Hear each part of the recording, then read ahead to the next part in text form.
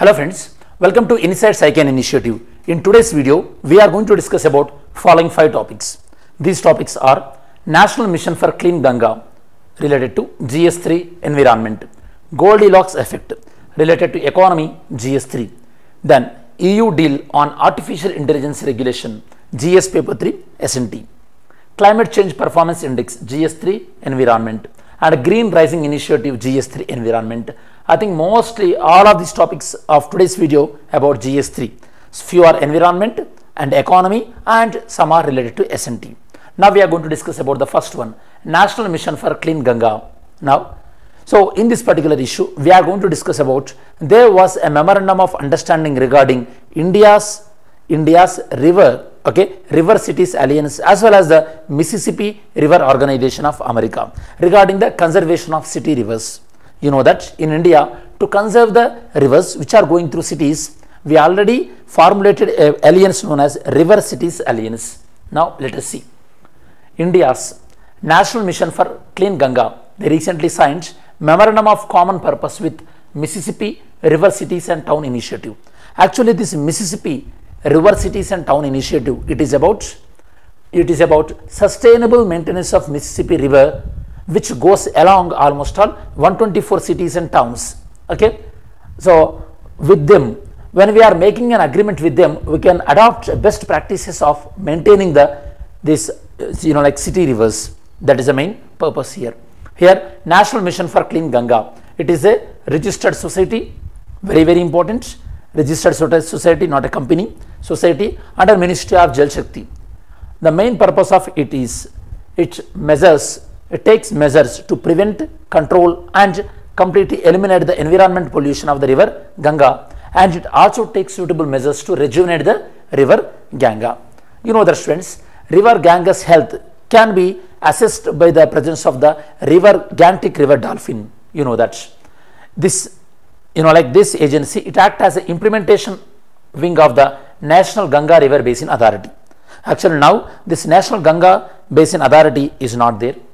This was this National River National this Ganga River Basin Authority. It was constituted under Environment Protection Act 1986. Now this NGRBA now it is dissolved since 2016 in its place now National Council for Rejuvenation, Protection and Management of River Ganga. It is popularly known as National Ganga Council has been established. The structure of this National Mission for Clean Ganga, the structure it consists of two tier management. One is the governing council, the other one is the executive committee.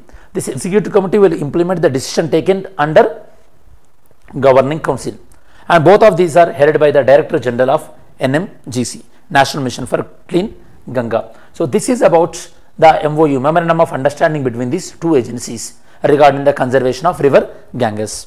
Now the second thing is regarding the economy. You know recently RBI governor he was saying that Indian economy is perfectly balanced between the inflation as well as economic growth.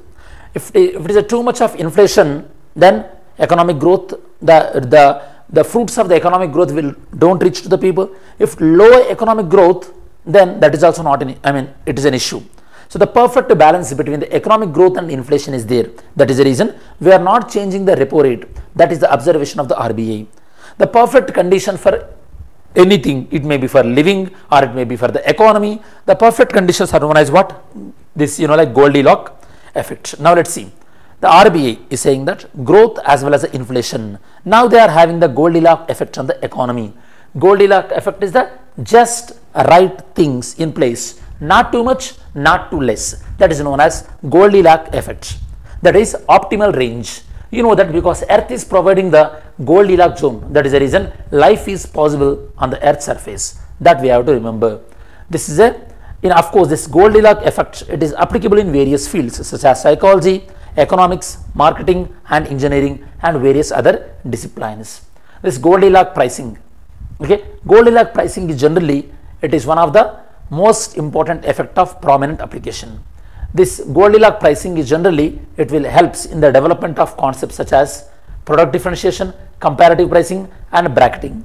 Actually these principles are related to economy and pricing. You don't need to worry about that. But let's see, I'll give some basic overview. With the Goldilocks pricing, with the help of the product differentiation, the marketing of the products can be improved. Product differentiation means the how the product is different between the two companies. When the product differentiation as well as when it compared with the comparative price that means price wise is also okay then that is in the Goldilocks region so that marketing of the product can be very successful.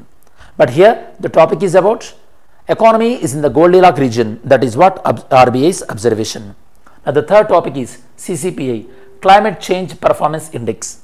Now let's see this climate change performance index CCPI from here onwards we will call it as CCPI recently on the sidelines of COP28 the CCPI report has been released.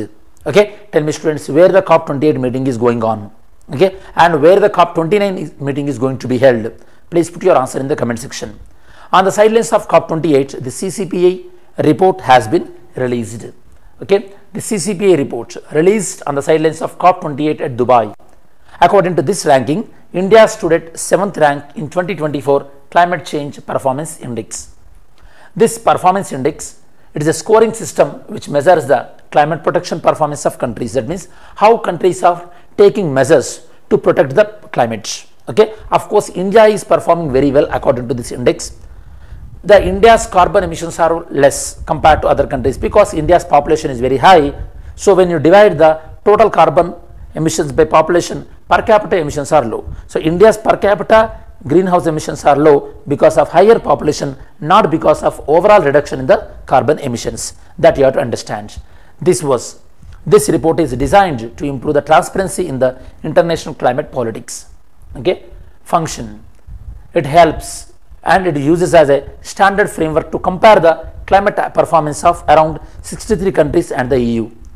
The 63 countries and EU together they account for around 90 percentage of the global greenhouse gas emissions. And this climate protection performance index okay it includes four parameters. GHG emissions greenhouse gas emissions renewable energy energy use and climate policy. That means by using these four indicators it check the performance of countries in these four indicators. Okay? Now ranking. Based on each country rank will be assigned based on the overall score published by Germanwatch the new climate institute and the climate action network these three together publish, it publishes on annual basis. India's climate actions, they were rated as the fourth strongest. That means India's efforts are very significant. You know that by 2070, we would like to achieve the net carbon zero level as well. Top performing countries in this report, Denmark, Estonia and Philippines. Worst performing countries, UK, USA, Italy and Saudi Arabia was at the bottom fourth best ranking in terms of per capita emissions because of the high population already explained in various categories. For example, greenhouse gas emissions India ranked at the 9th, then energy use 10th rank, climate policy India ranked 10th, renewable energy India ranked 37. These are some of the individual rankings in various categories. And India is on track to meet its intended nationally determined contribution. You know that in Paris Climate Agreement, all the countries are agreed that they are going to come up on every COP meeting about INDCs. That means how much they are going to reduce the carbon emissions. Now, India's coal use, still India's coal use is not reduced because as technologically we are not that much advanced, still we are completely, I mean majorly we are depending on the coal. The depending on the coal is one of the major source of greenhouse gas emissions which is causing severe air pollution in India. You know that some of the worst air polluted cities are present in India and you know how the India capital city Delhi is subjected to the air pollution. Next, the fourth one, UNICEF to unveil Green Rising Initiative at COP28. Green Rising Initiative. Let's see. Recently, UNICEF, United Nations Children Fund, they together with UNICEF's General Limited in collaboration with India's Ministry of Environment, Forest and Climate Change. Okay. UNICEF, Generation Limited, Generation Unlimited as well as India's ministry, they unveiled a new initiative that is known as Green Rising Initiative. What is this Green Rising Initiative is all about? This Green Rising Initiative is all about encouraging youth okay, in, in protecting the environment and towards the sustainable development. So that the next generation also will carry forward the environment friendly methods. That is the main objective of this one. The Global Green Rising Initiative and the Green Rising India Alliance. They mark a collaborative effort involving UNICEF, Generation Unlimited, as well as from India Yuva campaign. They are going to be involved in this. The main purpose is to encourage the youth in in reducing the greenhouse gas emissions. That is the main purpose. UNICEF stands for United Nations International Children Emergency Fund. It was established in 1946 and 11th December to provide emergency food and health services to the children and mothers who were suffered from World War II, World War II aftermath. Later, it became a leading source of information regarding the children and children issues. Headquarters present in New York City. This is about information regarding the UNICEF. And the fifth one is regarding the artificial intelligence. Tell me students, recently Google launched one of the artificial intelligence search engine. What is the name of that? Okay, Google's artificial intelligence one. European Union, they are trying to make a policy to regulate AI. So far, India did not have any concrete policy to regulate the AI. Initially, Indian authorities mentioned that they don't have any plans to regulate the AI, but recently in G20 summit, India, India claimed that they are in the process of making such kind, such kind of policy.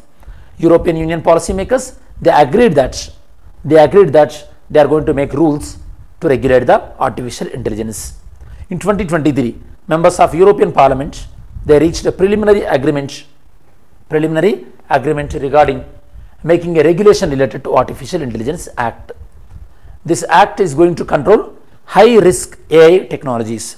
First, EU will identify high risk AI technologies and they will make rules regarding how to regulate AI technologies. You know that AI technology is nowadays getting misused and deepfake videos are also being circulated. The US so far, it did not have any comprehensive AI regulation at the moment. China in 2022, they came up that they came up with some regulations and it was the first country to have a nationwide regulations regarding the artificial intelligence. India, Union Minister for Electronics and Information Technology said that the government is not considering any law to regulate the AI. However, in this year G20 summit, India indicated that they might regulate the AI. After we are getting to know some of the negative consequences of AI. Officials said that digital personal data protection bill, it will apply to AI developer as well. So AI can be, AI technologies can be used in more responsible manner.